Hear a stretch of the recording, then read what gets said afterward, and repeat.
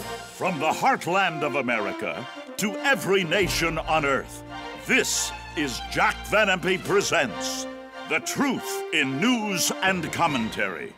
Here now are doctors Jack and Rexella Van Impe. Hello and welcome to Jack Van Impe Presents. The first headline that I have for you today is so startling and such a blessing to me, I can't get over it. It's, it's really good news, not bad news at all. Scientists find seven possible sisters of planet Earth. You know, we have no idea what's out there. The heavens declare the glory of God and it shows his handiwork. And I tell you, we're going to be talking about that in just a moment. Isn't that great? Then going on, Egypt and Jordan. This really surprised me, friends. A two-state solution is non-negotiable. I never imagined that Jordan would say that. Maybe Egypt, but the two together now have gone together and said, there's no, there's no argument about it. It has to be. And also, this burdens my heart very much, and I'm so happy to have our guest who has experienced being a pastor for many, many years. Empty pews on the rise. It's heading up. More churches are empty than not empty. I never forget the last time Jack and I were in Europe. We went to just visit some churches, all empty, nobody there, pastor only, maybe 10 people. Oh my, oh my, we need to be, certainly be praying about that one too. But I do want to say from Jack once again, give the people my love. That's the last thing he said today as I left home. And tell them that I miss them and that my prayers are with all of you. And uh, my, oh my, he's getting better all the time. So keep him right at the top of your prayer list, will you please? And then I do want to say it's a pleasure, as I mentioned, to have our guest with us once day, uh, again. Dr. Dave Williams. Now, you know he did serve as pastor of Mount Hope Church in Lansing, Michigan for more than 30 years. And as I said, in that time, thousands of ministers trained through the Mount Hope Bible Training Institute. And uh, my husband went there and I did too, and we visited that church. We're very impressed with what they were doing in training young men and women to serve the Lord. And during his tenure, they also had 43 new Mount Hope churches in the United States over 300 in West Africa, South Africa, Zimbabwe, and 200 in Asia, and so many, many other things that they've done for Christ. Welcome once again, Dr. Williams, to our program. Thank you, Dr. Rexell. It's a joy to be back with you again. Thank you so much. Thank you for the honor and the privilege. It's a blessing to have you. It really, really Thank you. is. Thank you. And getting to that first headline, Dr. Williams, it's just amazing. Blesses my heart so much. And as I said, the heavens declare the glory of God. Here you see it. Scientists find seven possible sisters of planet Earth. They're like us, seven of them. All right, let's go on to this next one. Newly discovered network of planets could harbor life. My, oh my. Now, the star encircled by, there's a star in the middle, encircled by seven Earth like bodies. The scientists are just without anything that they can really say as far as what happened. Seven Earth sized planets found orbiting dwarf star. And oh my, praise the Lord that we serve a God who's created all of that and that we just don't know what's out there. My, oh my, one day when we go to be with Him, we're going to see things we can't even imagine. Dr. Williams, does that not excite your heart? Oh, it really excites me. It excites me because Jesus talked about signs in the heavens as we approach the last days. And I think this is one of those signs. There's Yes. something, Rexella, very interesting uh, going on. We know that there's coming a day when suddenly millions are going to vanish from this planet. Yes. It's called the rapture, the harpazo in the harpazo in the Greek language, raptus in the in the mm-hmm. Latin language. It's when the church age ends, when this parenthetical age, the church age ends, and then we go into a time of Jacob's trouble, it's called, a time where Jesus described it as being tribulation. But the discovery of these planets is so Yes. interesting that it was just now because New Age writers, uh, some of the top New Age and occultist writers are saying that planet Earth is about to go through a time of cleansing that will lead into a golden age of peace and harmony. There will be a, the, one of these convergences again. And they say that uh, those that are not of Earth's harmony are not going to be able to stay on the planet. Those that are not of Earth's harmony, because those that are not of Earth's harmony are hindering the convergence of peace and harmony on the Earth. So they're going to be beamed off the Earth and taken somewhere else for indoctrination. And if you can believe this, they say they'll be gone for seven years and then they'll be back after being re indoctrinated so that we harmonize with Earth's harmony. Ah, uh-huh. Now, we know we're going to be going. Yes. And now, with these planets that were discovered that can possibly support human life, they could easily say, well, that's where they were taken to these Uh-huh. planets where they're being reindoctrinated and then they'll come back. But you and I know what it is it's the catching away of the church. right. And it is all prophesied, all these signs in the heavens, and there's some more scheduled for uh, this year, 2017, some more very interesting things uh, that astronomers are Yes. telling us are going to happen in the skies this year. Well, the scientists, they always try to explain it. You know, they, they, they have to find an explanation for it. But the Lord said it in the beginning. And, you know, in the beginning, God created the heavens and the earth. There you go. We Mm-hmm. can either believe God's word or believe something else. There are people in these UFO cults that believe that an alien came down to earth and impregnated Mary. Yes. And that was and that's what they really believe. Well, doesn't the Bible say the time will come when they will not endure sound doctrine? That's they can't believe that the Virgin Mary was overshadowed by the Holy Spirit and she gave birth to this holy child, Jesus, who became our Savior, died on the cross, and rose from the dead. But they can believe in UFOs and aliens. Yes, there you go. That, well, that's, you know, uh, they can rationalize all that out, figure it all out. They can rationalize it, but there's another interesting thing, Rexella, is Enoch did some writing, the prophet Enoch, the one that was the Yes, first yes. raptured in the Old Testament. And in his writings, it's not scripture, it's apocrypha, but uh, in his writings, he talks about this class of angel called Ophanim. There are cherubim, seraphim, and Ophanims, and the Ophanim in the Hebrew is wheel. And in Ezekiel chapter 1, he saw this wheel within a wheel with all these uh, eyes around it. The UFO people say that's a UFO. But apparently, there was a class of angel, and some of these could have been fallen angels, a class of angels that looked like what today we would call a flying saucer. Isn't that interesting? Oh, yes, it is. the things they're coming up with now. I know it. well, you know what? Something else that has just been discovered. And to me, this is uh, really a blessing. Take a look, if you will, please. New Dead Sea Scrolls Cave discovered. Now, here you see it. Uh, the Dead Sea Scrolls. And you know what? The priceless records include more than 800 documents written in Hebrew, Aramaic, and Greek, mostly on animal skin and papyrus. And you know what? The first Dead Sea Scrolls were discovered in 1947. Can you believe that one? And uh, certainly uh, it is uh, a witness and a backing up of everything that the Jewish people had to say. The Dead Sea Scrolls. I've been to the Dead Sea. You've been to the Dead Sea. It's very, very interesting to go over there, and uh, actually, can I can almost envision them finding this Dead Sea Scroll. But you know, it is so wonderful to know that they have found something to back up everything that the Jewish people had to say. Everything.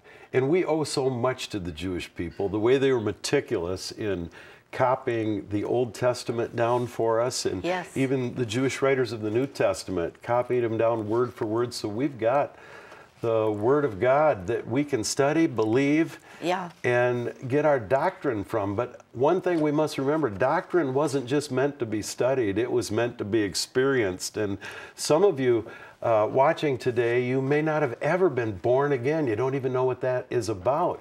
It's just a doctrine, right? Well, it's a doctrine that's meant to be experienced. and It can only be experienced by receiving Jesus into your life. And Rexel and I will give you an opportunity to do that Yes. at the close of this program. Absolutely, we will. That's why we're here. That's why we're here. We want people to have the peace of the Lord in these troublesome times and after you actually be uplifted by some of the things we've just given you.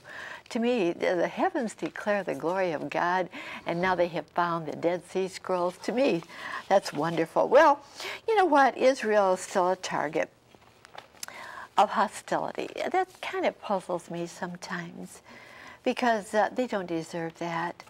Hostility and extremist groups, they're all after Israel. Take a look, if you will, please, at this headline.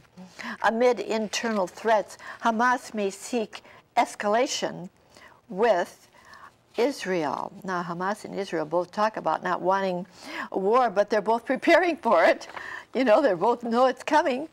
Egypt, Jordan say two-state solution is non-negotiable. In other words, they're saying, don't even talk about it anymore. We have to establish a Palestinian state. And Nas- Nasrallah warns we can hit Israel's nuclear reactor in Dimona. The Hezbollah terrorist organization warned Israel it could strike anywhere in their country. Unbelievable. Nasrallah Hezbollah will have no red lines in the next war with Israel.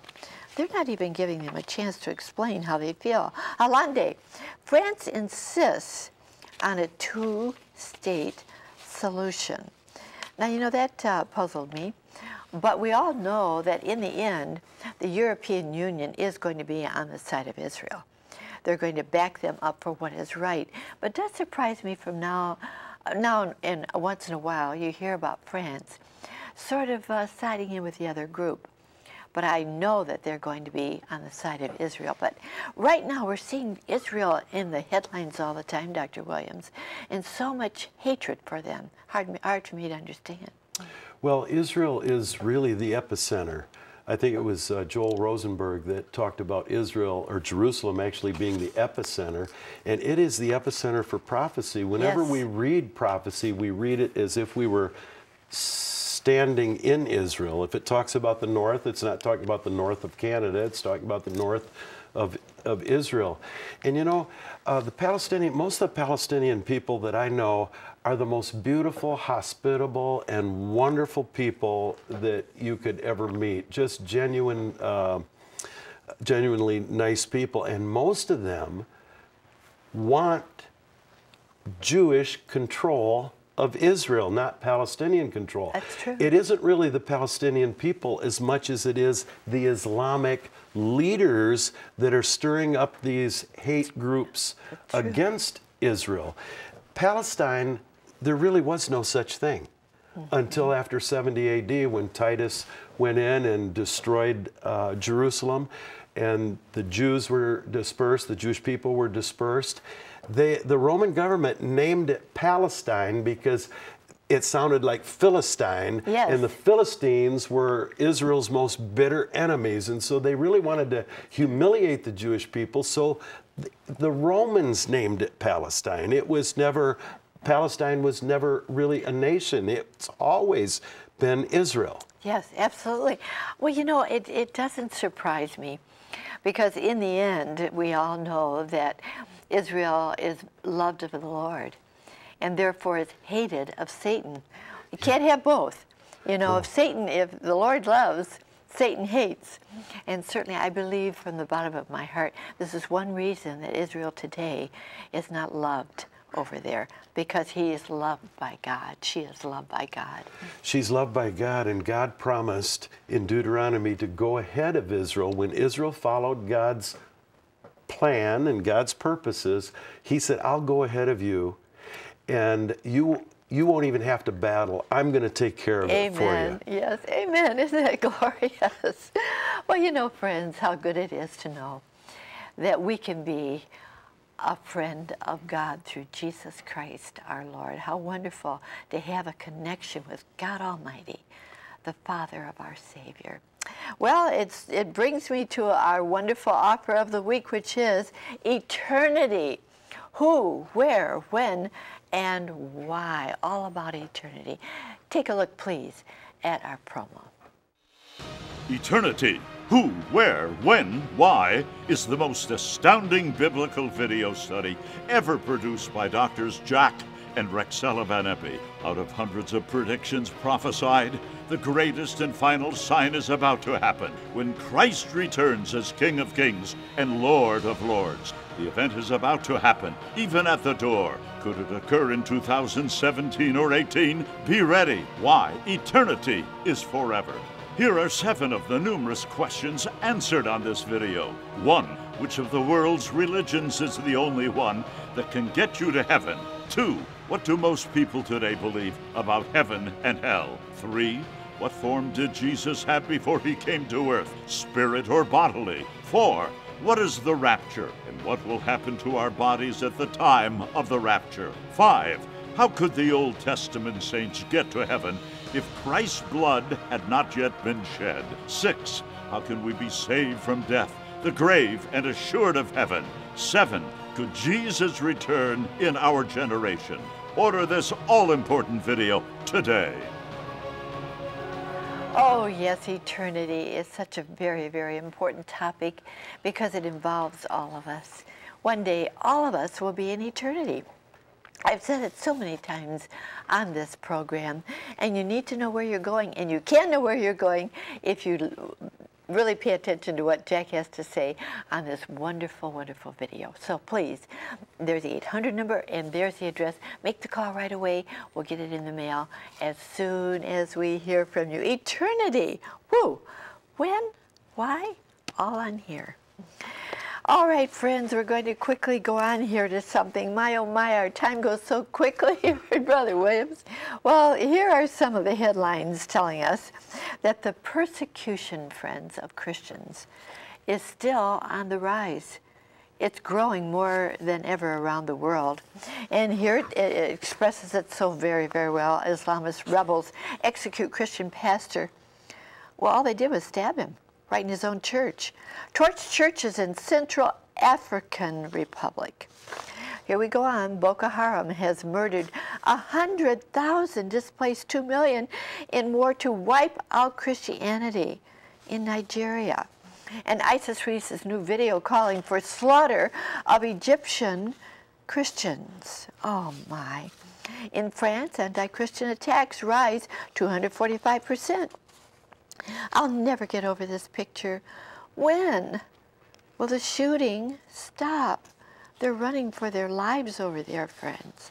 Running for their lives. And here you see it the great tragedy of South Sudan. Years of suffering and violence led to the creation of South Sudan in 2011. Now, more fighting threatens to kill it.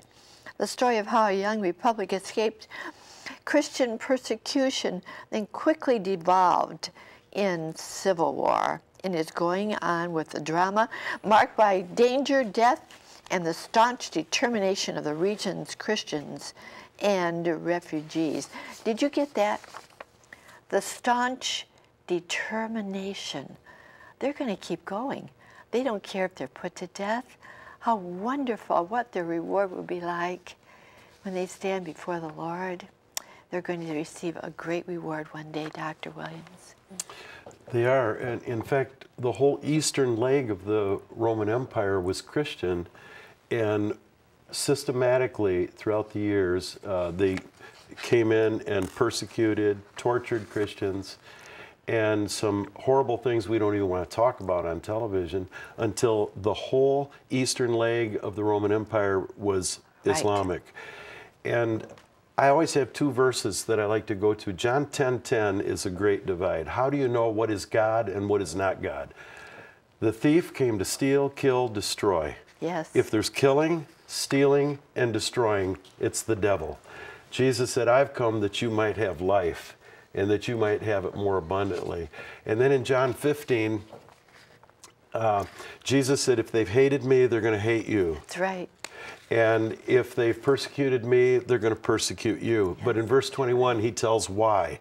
He said, Because they know not him who sent me.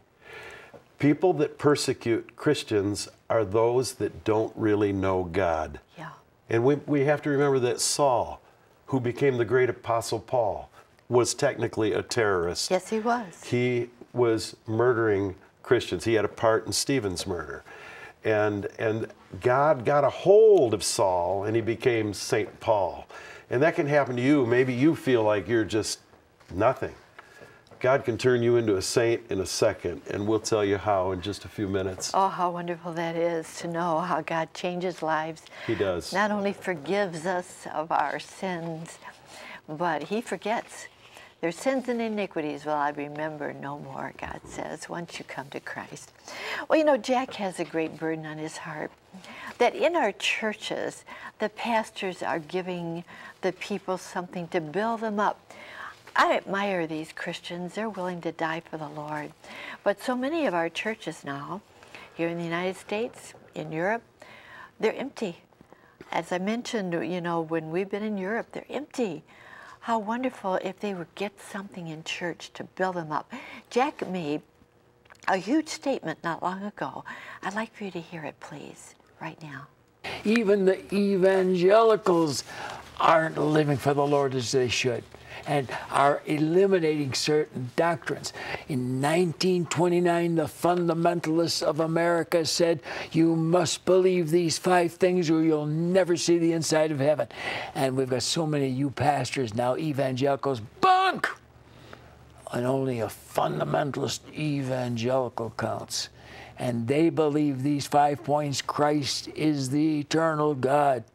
Second member of the Trinity. Secondly, he was virgin born. Thirdly, his blood and blood alone shed at Calvary can save the soul. Fourthly, he was raised from the dead. And finally, he's coming back and soon. Oh, amen. And these men are deviating from this, and I don't care how many years they preach. If they don't believe those five things, they'll never see the inside of heaven. And in 2 Timothy 3.13 it says, Evil men and seducers shall wax worse and worse, deceiving and being deceived. That's why Matthew 24, verses 5, 11, and 24 state, There shall be false Christ and false prophets. And the churches of Jesus Christ are loaded with them. You know what you men of God, if you're men of God, need to do? Get into this book. Second Timothy 2.15, study to show thyself approved unto God, a workman that needeth not to be ashamed, rightly dividing the word of truth. And Psalm 119.11 says, Thy word have I hidden in my heart, that I might not sin against you. Because that's what some of you are doing right now with all of your confusion. Oh, folks, what is wrong with these ministers today? Don't they know the first commandment? Thou shalt have no other gods before me. None, none. There's 1,600 cults out there right now, and every one of them denies Jesus. You're not going to get to heaven that way.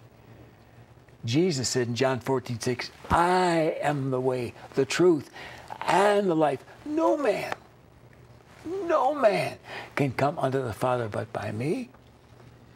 Let's go a little farther. Acts 4:12. Neither is there salvation in any other.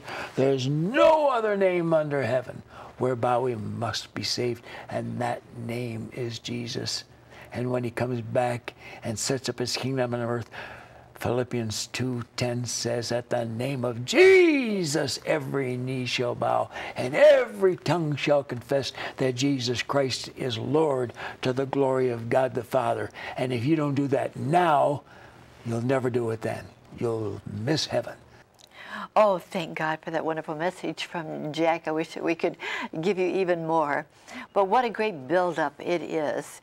And, and, and to know that this is why the churches are empty.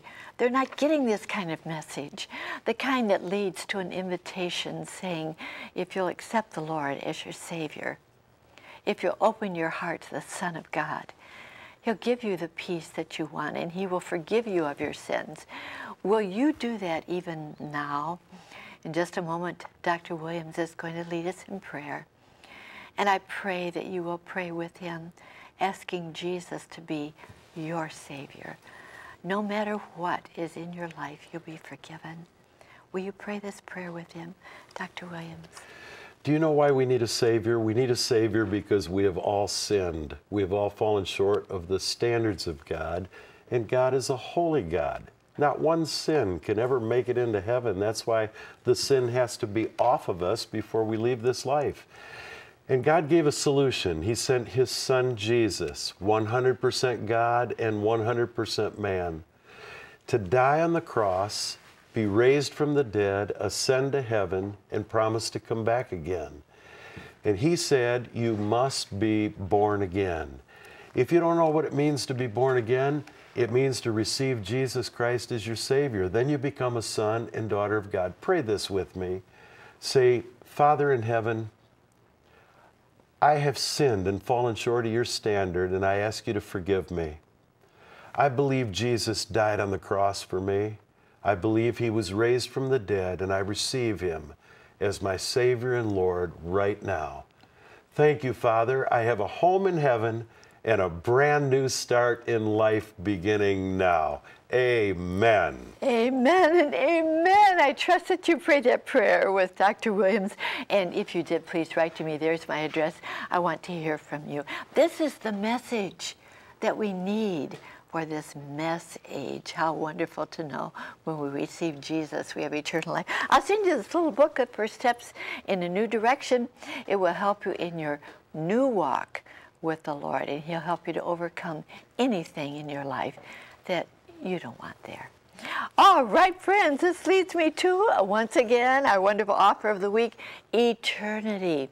Who, where, when, why? Here's our announcer to tell you how you can receive it. Chuck? Thank you, Rexella, my friend, to order eternity. Who, where, when, and why. Have your credit card ready and call toll free 24 hours a day, 1 800 JVI 7777. To order by mail in the U.S., send your donation of $24.95 to Jack Van Ministries, Box 7004, Troy, Michigan 48007. In Canada, send your donation of $24.95 to Jack Van Impe Ministries of Canada, Box 1717, Postal Station A, Windsor, Ontario, NIA 6Y1. Now back to Rexella. Thank you so very much, Chuck. Please do not put this off because, as I've said so many, many times, you need to have this. In fact, give it to the one you love the most in this life. If they don't know the Lord, they will certainly accept Christ if they watch this. So make the order right away. There's the 800 number. Make the call.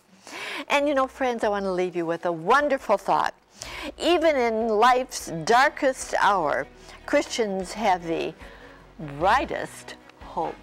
Oh my, how true that is. Look forward to being your home again next week. And until then, remember, God cares for you. So do we so very much. Bye-bye.